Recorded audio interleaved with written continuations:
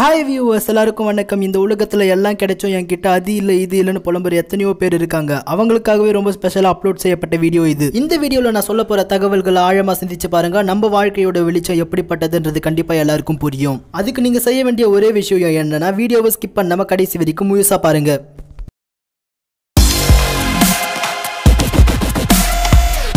இங்கிலாந்து நாட்டில் ஷெல்லிவால்ன்ற ஒரு பெண் அவங்க கணவர் ராபுன்றவரோட ஹாஸ்பிட்டலுக்கு போனாங்க. அப்போ ஷெல்லிவால் இருபது வாரம் கர்ப்பிணி பெண் ஷெல்லிவால ஸ்கேன் எடுத்த மருத்துவர்கள் அவங்களுக்கு ஒரு அதிர்ச்சியான தகவலை சொல்றாங்க. அது என்னன்னா ஷெல்லிவாலுக்கும் ராபுக்கும் பிறகு போற குழந்தைக்கு மூல வளர்ச்சியே இல்லையா? வெறும் ரெண்டு சதவீத மூல வளர்ச்சி மட்டுமே இது வரைக்கும் ஏற்பட்டிருக்கான் இதனால அந்த குழந்தையை அபார்ஷன் பண்ண சொல்லி அங்க இருக்கிற டாக்டர்ஸ் அட்வைஸ் பண்ணாங்க. இங்க தான் ஷெல்லிவால் ராப் ரெண்டு பேருமே எல்லாரையும் ஆச்சரியப்பட வச்சுட்டாங்க. அபார்ஷன்லாம் பண்ண வேணாம். எங்க குழந்தை எப்படி பிறந்தாலும் எங்களுக்கு சந்தோஷம் தான் அவங்களுடைய முடிவை சொல்லிடுறாங்க. ரெண்டாயிரத்தி பன்னெண்டாம் ஆண்டு மார்ச் ஆறாம் தேதி பிறந்த அவங்களுடைய ஆண் குழந்தைக்கு நோவா வெல்லுன்னு பெயர் வைக்கிறாங்க.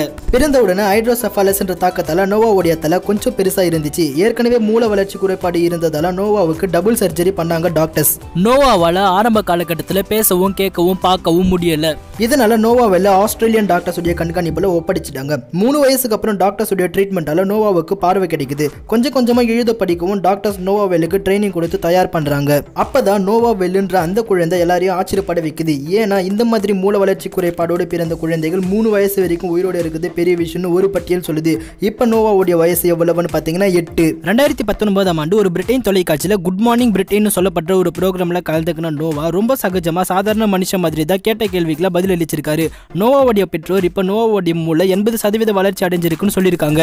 அங்கே இது கேட்ட எல்லாரும் ரொம்பவே சந்தோஷப்பட்டாங்க. இதில் பெருமைப்பட வேண்டிய விஷயம் என்னன்னா ஒரு முறை கிறிஸ்மஸ் அப்போ நியூ கேஸ்டல்ன்ற இடத்துல இருக்கிற த கிரேட் நார்த் ஹாஸ்பிட்டலில் நோவா அவரை காப்பாற்றின டாக்டர்ஸ் மற்ற ஸ்டாஃப்ஸ் அப்புறம் ஹாஸ்பிட்டல் இருக்கிற பேஷண்ட்ஸ் எல்லாருக்கும் மொத்தமா ரெண்டாயிரத்தி ஐநூறு கிஃப்ட்ஸ் கொடுத்தாராம். நோவாவெல்லுடைய சந்தோஷத்துக்கு காரணம் அவருக்கு அவரை ரொம்ப பிடிக்கும். அது போல உங்களுக்கு உங்களை பிடிச்சாலே போதும் வாழ்க்கையில ரொம்ப சந்தோஷமா இருக்கலாம். எந்த மருத்துவம் இந்த குழந்தைக்கு ரெண்டு சதவீதம் மூல வளர்ச்சி கூட இல்லை அதனால இந்த குழந்தைய அபார்ஷன் பண்ணிடுங்கன்னு சொல்லிச்சோ அதே மருத்துவம் தான் இன்னைக்கு இந்த குழந்தைக்கு எண்பது சதவீதம் மூல வளர்ச்சியை கொடுத்து சாதனை பண்ணியிருக்கு. இதனால இந்த குழந்தையோட வெற்றிக்கு மருத்துவம் தான் காரணம்னு மட்டும் தயவு செய்து முடிவு பண்ணிடாதீங்க. இந்த குழந்தையோட வெற்றிக்கு முழு காரணம் நோவாவெல்லுடைய பெற்றோர் மட்டுமே. ஓகே வியூவர்ஸ் நோவாவெல்லுடைய கதையில வந்து நீங்க நிறைய தெரிஞ்சுட்டு இருப்பீங்கன்னு நான் நம்புறேன். இதே மாதிரி இன்ட்ரெஸ்டிங் நியூஸை தினமும் தெரிஞ்சுக்க இந்த சேனலை சப்ஸ்கிரைப் பண்ணி கூடவே பெல் ஐக்கானை பிரஸ் பண்ணிக்கோங்க. அப்படியே உங்க கான்டாக்ட் லிஸ்ட்ல இருக்கிற எல்லாருக்கும் இந்த வீடியோவை ஷேர் பண்ணிடுங்க. வீடியோவை பத்தி ஏதாச்சும் சொல்லணும்னு நினைச்சீங்கன்னா கமெண்ட் பாக்ஸ்ல கமெண்ட் பண்ணுங்க. கடைசியா தேங்க்யூ ஃபார் வாட்சிங்